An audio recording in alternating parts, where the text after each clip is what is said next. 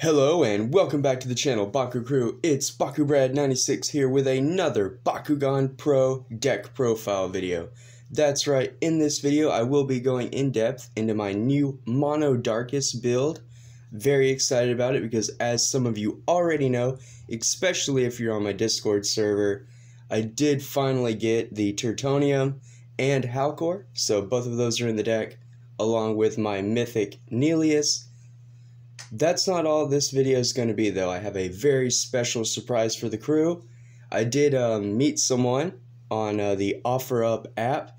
His name is George, and I've already been cleared to share this product with you guys. I am super ecstatic about it.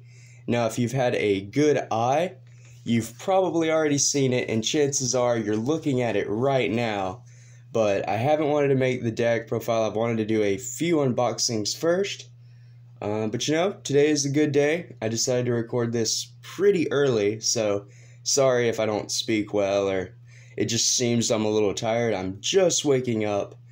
But uh, yeah, to go ahead and get right into it. So let's slide the channel mascot aside, get these Bakucore out of the way, and like I said, if you've been paying attention to the background of my uh, my videos, this bad boy right here is uh, a deck box that I had custom made by George. He's a really awesome guy.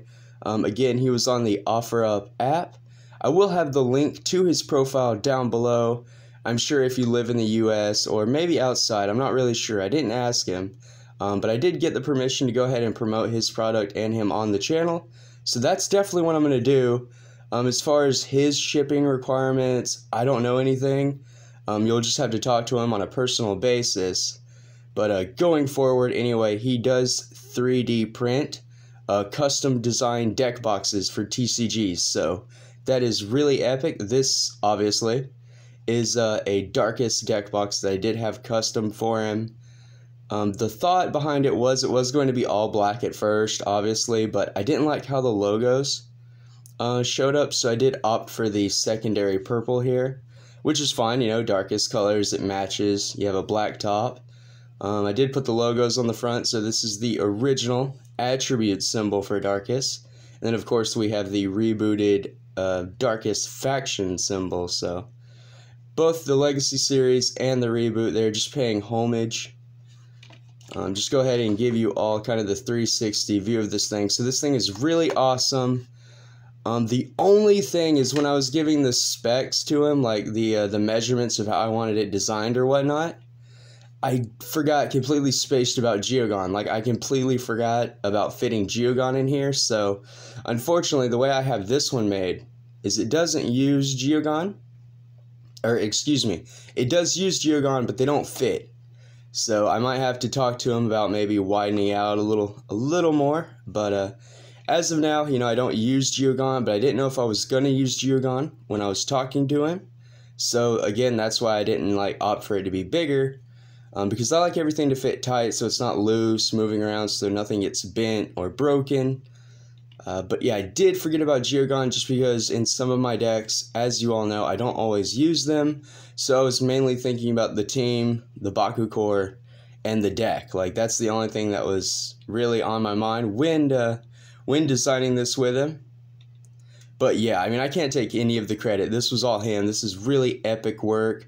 Um, I don't know anything about 3D printing, but uh, if it can pop out some awesome deck boxes like this, I am definitely down.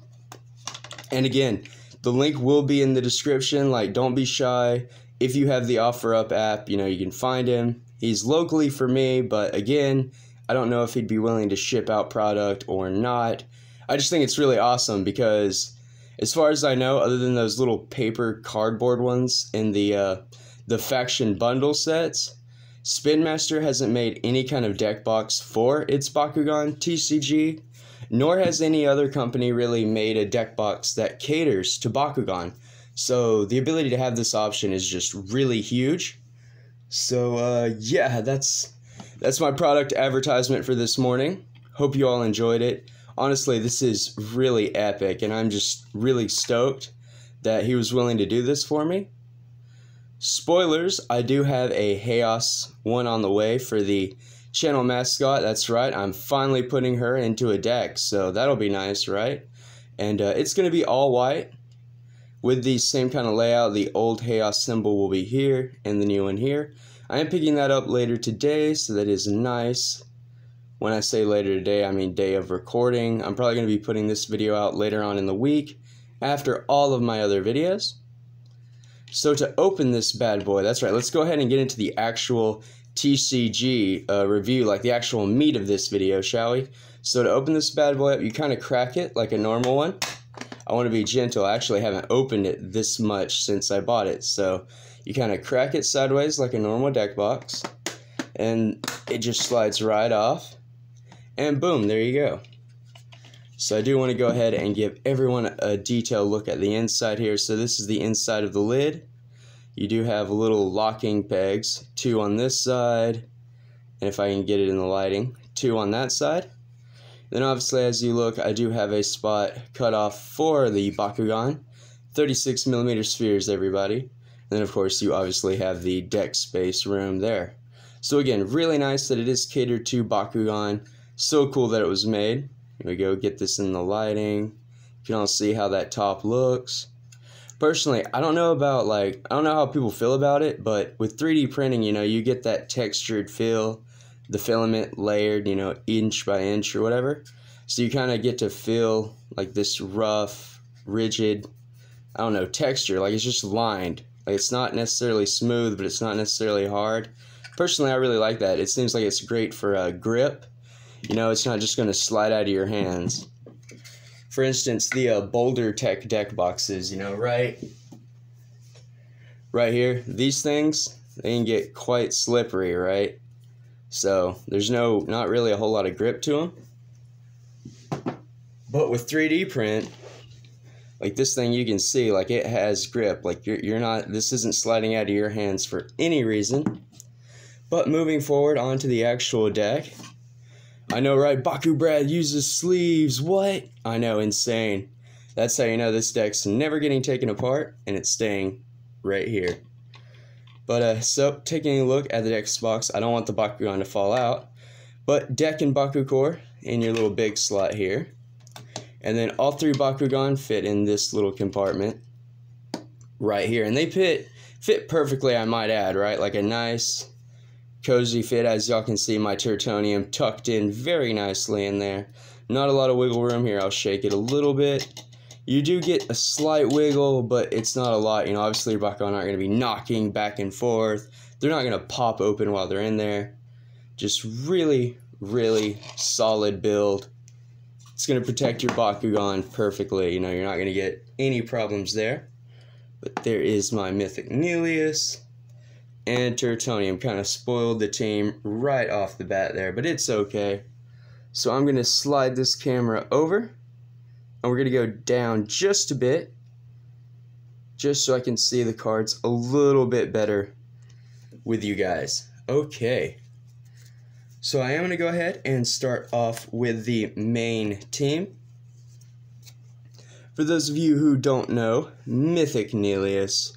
So happy that the Battle Planet Bakugan got redesigned with better stats.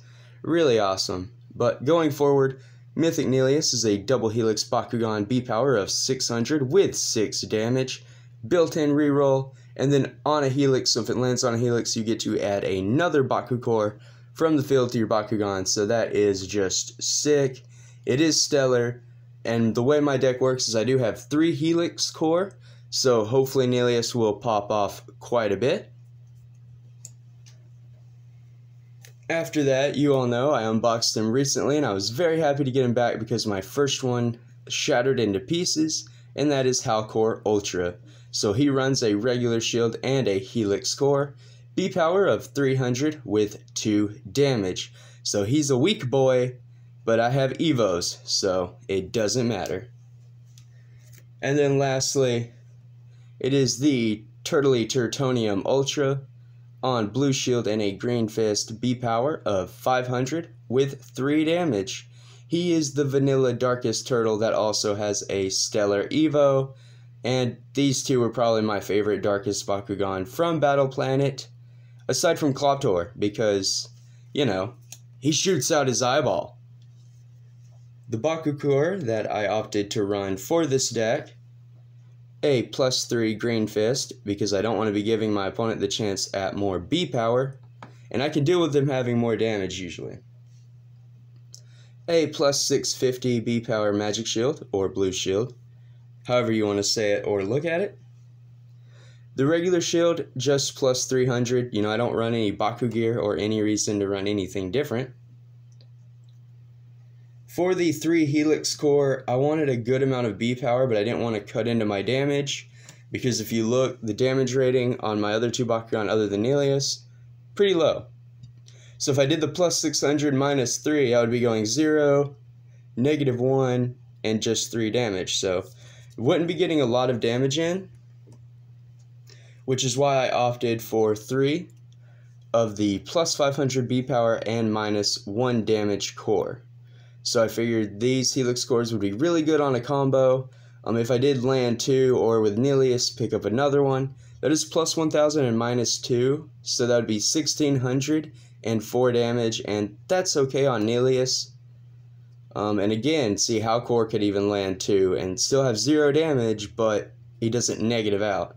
Not that I would necessarily want to do that play, I'm just saying for example. And that is the 6 Baku core that I use. Before I go into the deck profile, let's just get a quick look at these awesome Bakugan.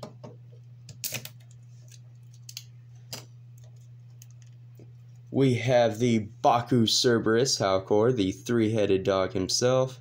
Such a cool Bakugan. The only thing about Battle Planet Bakugan is usually one side of them is screwy, if you get what I mean there. Don't mean that in a bad way, but there's just a ton of screws. Just like Maxotaur, they took the whole Bakugan and they're like, we're going to make half of it nothing but screws. But the other half, very clean and nice.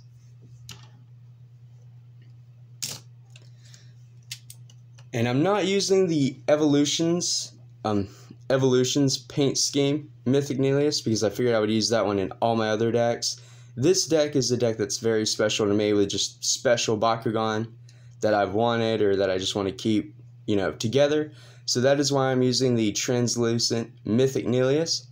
Chances are I'm never getting another one of these bad boys, and I was so happy to get it shipped to me in a trade. So again, thank you, Grim, if you're watching this video he uh, did make it into the Mono Darkus deck.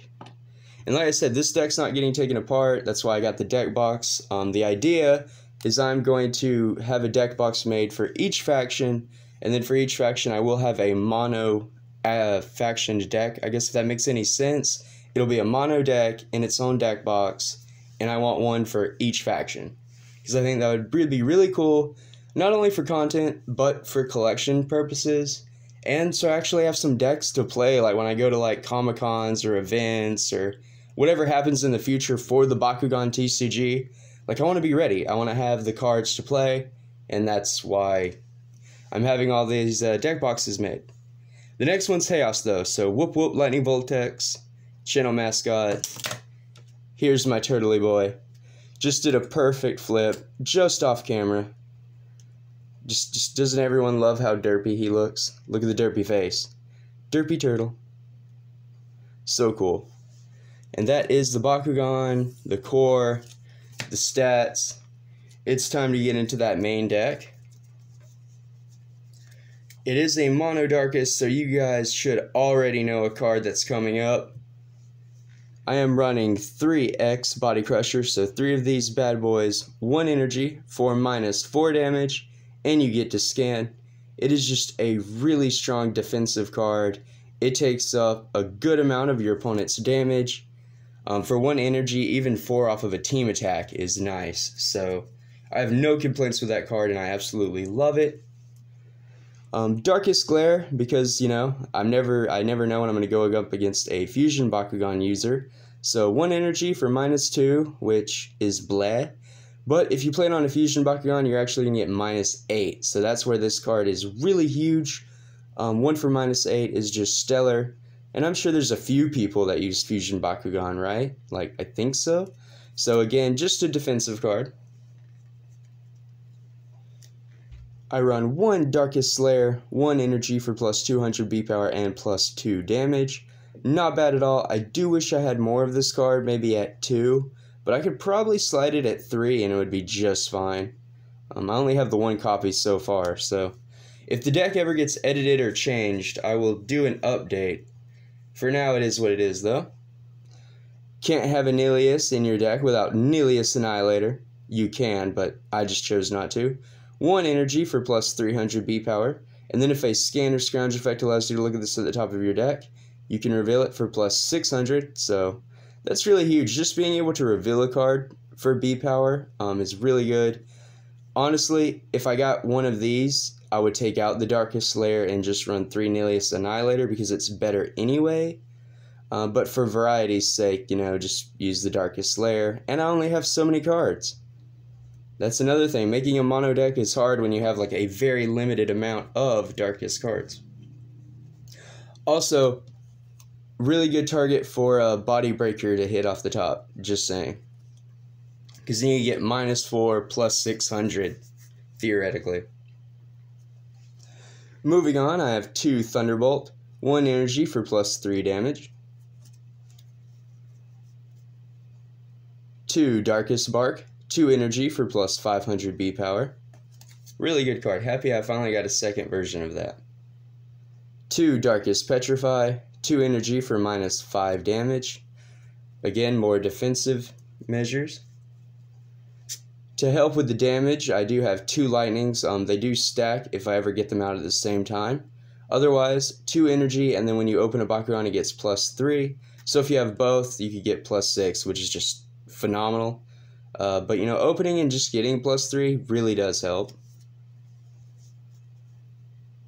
Two Shadow Slicer, two energy for plus 400 B power and scan. Again, a way to hit the Nillious Annihilator and just see what cards you're drawing into. Two Throw Anything, two energy for plus 400 B power and Shadow Strike. The Shadow Strikes is, is important in this deck. Um, I thought about cutting, you know, the Darkus Slicer and using three throw anything, but I like to keep it two at two because I like having the scan option or the shadow strike option, depending on the situation. One Umbral Slash, two energy for plus 100 B power uh, for each flip card in your discard pile. So this could be huge depending on um, how the game state goes, or it could just stink and I play it as energy. It's kind of one of those free slot cards in my build. I did keep in the Cycling Madness, 3 energy, and you just draw a card and your opponent discards a card, return it to the bottom of your deck. So this is a card you could potentially use over and over and over again without having to have multiple copies, and uh, I like that. Plus, limited card draw in Bakugan is not a bad thing, you just have to watch your life total. Now I took out the Darkus Nights, but I am using Monstrous Surge, 4 energy for plus 800, and then Sync, you may reveal a card in your hand that costs 2 for plus 4. Now a ton of cards in this deck are 2 energy, so I don't have a problem using just Monstrous Surge because I think I'll be able to get that Sync uh, ability off no matter what. Um, but again, I'm not using my combo just because two of the Bakugan in this deck had Evo cards, and I don't know, can you play ba- uh, Baku Gear on an Evo, like on a Bakugan that's evolved? Personally, I didn't think you could, so that's why I didn't put any in my deck. Uh, but yeah, Monster Surge, still good. There's still plenty of two drops in the deck, uh, so I can get that plus four and the plus eight the same turn. Then after that, I do have two Shadow Dogs in case I need the reroll. So for energy, you have to reroll your Bakugan, so it's not a may, it's a must. And then if you open on that reroll, you get not only 400 B power, but if you win the brawl, so victor, an opponent must discard two cards. So that's some very good disruption if it goes through. I know that that is very chancy. It is quite a setup card, um, but I've used it in the past. I have had luck. Um, when you get it off and you do loop two cards out of your opponent's hand, it is really nice. Um, otherwise, you are just re rolling at the end of the day. Everyone's seen this bad boy already. It is my 2 of Titan Turtonium Ultra, 4 energy for 1000 B power and 15 damage, but when you play it, you must discard your hand. Now, people have looked at me like I'm crazy for playing this card, and it's not like I sacrifice BP deck, but I don't care. I'm just playing it, and if I have cards in my hand, you know what? Rip, they're gone. Because I just, I like my turtle too much. Turtonium is awesome. I will always stand beside that Evo card. Like, it doesn't even matter. I don't even care what my hand is either. I will play it and then just dump the hand. After that, it is my 2 Titan Howlkor Ultra, 5 energy, B power of 1000 with 1 damage but this has plus one damage for each flip card in your discard pile. So just a way to get extra mileage off of those flip cards that are used or discarded. Either way, kind of helps with damage and base B power for 1000 on both of my Evos. Again, that's just a way to get them more in line with today's Bakugan. Because the one thing saving me is other than Diamond Evos, I don't have to worry about the Evolutions Bakugan like having Evo cards because they're already at a thousand B power. So any way I can to get up to that level and not worry about power creep, that's why I have the Evos. Now, as I hinted to um, at the beginning of the video, I am using Geogan, but for whatever reason, like I guess it's because initially I didn't think I was going to. Honestly, I really didn't like wasn't planning on it, but it was suggested that I do use Geogan after all, so I did decide to use them. So unfortunately, they don't fit in the deck box, but I am using two Mutasect. Um, hear me out. Six energy is very high, and if it's in my hand when I play Turtonium, I lose it. But I feel like a B power of 2300 and 8 damage with Shadow Strike is just a good spot for my deck. Um, rather than play a weaker Geogan at a lower energy cost that could still be beaten or just ran right over, um, much like my team, right? Like I'll admit my team's not the strongest. It's got two weaker Bakugan on it. Um, I need the higher play Mutasect. Like I need to wait to turn six. I just need to grind the game out, hang in there. That way, when I drop Mutasect, it's an actual win. And I feel like that's possible with a B power of 2300 um, and Shadow Strike because nothing can be reduced. The damage can't be reduced, and the B power can't be reduced. So anything that Mutasect picks up core wise, or anything that you play on Mutasect can't be lost. So this is kind of a uh, a win more card, if you will, or at least I feel like. Um, and really strong on the curve because it is the only two six drops. So if I do make it to turn six in a game, um, this really is the only card I have to play for those higher end turns, um, unless I start doubling up on my turn two, three plays, you know, that kind of deal. So, uh, yeah, two Mutasect because I felt like that was fine. I felt like Mutasect was a strong Bakugan. It did fall in line with why I picked the team because it was one of my favorites. It was one of my first Geogan. Um, I do believe it actually was my first. It did come in a what did it come in? I think it came in a Battle Strike pack or a Brawler pack to begin with with Aquos Vipergon. I consider it my first Bakugan because it's my first Darkus, and you all know how much Darkus, obviously, right? But uh, so here's Mutasect. You don't have to because the cards are the same, but I opted to uh, have both figures with me. So here is the Evolutions variant with all that awesome magenta clear pink plastic and then all the silver decaling.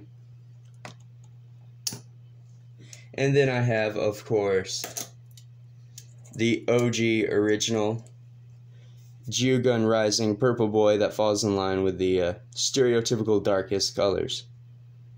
So really neat. Again, with Mutasect, I got to have two, uh, two different Geogan for the same Geogan card, which is pretty neat. So I have my twin Mutasects, that's how I say it. For the rest of the deck, it is the flip cards, so I am running one Cease Darkus, zero energy to block Darkus, obviously. One Darkus Snare, zero energy to block a Bakugan holding a magic shield. Cease Serenity, one energy to block a Chaos or Ventus Bakugan. 1 Crescent Darkus Nullifier, 1 energy to block Aquos or Pyrus Bakugan, a 1 Sonic Shield, 1 energy to block a Bakugan holding a green or flaming fist, Punish, 2 energy to choose a player to discard a card, which may or may not get taken out yet, I'm not sure. Um, I did listen to the server. I am only using one black hole instead of two because it is, I agree, it is very risky. Three energy to end the turn. Nothing else can happen this turn. You start the next turn. Cards cannot be played. Remaining damage vanishes, and energy cards do not recharge. So that is going to put you at minus three energy no matter what your opponent has from them. And uh, that is dangerous, but in some cases it could save, you know, save you the duel. So that's why I have it and I keeping it at just one. And then the final flip card is Shadow Breath. So, 4 energy to take control of a hero. Hero spam is a thing, right? All those Dan Kuzos and Leas. Um, I might steal one. That's why I run that one. And that does it for the complete main deck. I know this is a long video, but we are almost done, Brawlers. The last thing is to go over the Nanogan that I use and that is your uh, extra deck or side deck, if you will. So, first up, Nano Fury on Helix plus 100 B power, but then on Helix Green Fist and an Orange Shield plus 2500 B power. So, it definitely helps with the B power of the deck. Again, that is huge considering how low Howlkor and Turtonium are. Um, and I figured it is possible. I do use eat one of each of those cores, so getting off that 2500 B power late in the game after I've picked up those core. Not necessarily on the same Bakugan, but as long as I have all of those picked up, I can get that boost. So that was my thought process there. And Nano Siphon on a blue shield plus 300 B power, on a blue and regular shield plus 500. So again, just helps with the B power. I've got really low boys and they need to be boosted as much as possible. The third and final Nanogan, I'm sure you can all guess, is Nano Widow. So on a regular shield plus 400 B power, and then on regular Helix and a Green Fist plus 1000. So kind of like Fury, kind of has the same uh, requirements there of a sort, but just different layout and different B power at different times. So that really helps. My Nanogan don't steal core, they don't grab core, they're just all about that B power. Um, I figured I would save the other Nanogan for more uh, competitive decks. These are kind of just my free slots, and uh, I like them, um, and they're good for the team. Like, they really do. They add the B power, which is huge. So that's my three. And uh, that does it. That's it for the uh, deck profile. Hope you all enjoyed it, as well as this awesome deck box review.